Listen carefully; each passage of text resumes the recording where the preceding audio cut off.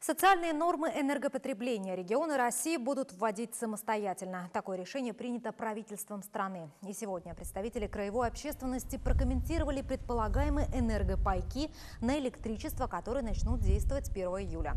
Напомним, наш край входит в число шести пилотных регионов, где обкатывалась новая методика. При этом общественники недовольны правилами ее расчета. По данным властей, 90% потребителей укладываются в те 75 киловатт в час электроэнергии на человека, который декларирует документ. Однако эксперты подсчитали, что на самом деле энергии по соцнорме хватает только 30% населения края. За остальное приходится доплачивать по коммерческим ценам.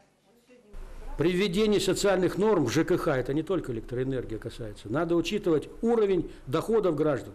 Не надо учитывать тип строения, состав семьи, сколько там, пять человек живет, трое человек живет, в каком доме они живут, с электроплитой. Доход граждан